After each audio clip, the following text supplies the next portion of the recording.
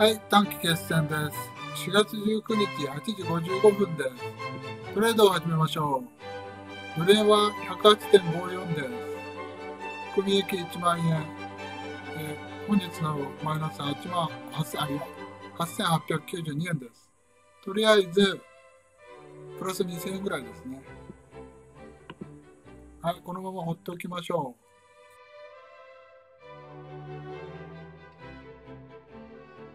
先物は下げてますから、日経平均は下げから始まるでしょう。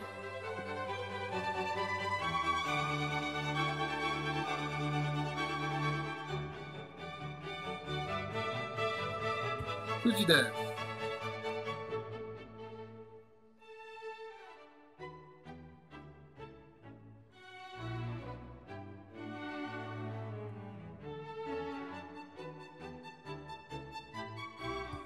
日経平均は89円安です。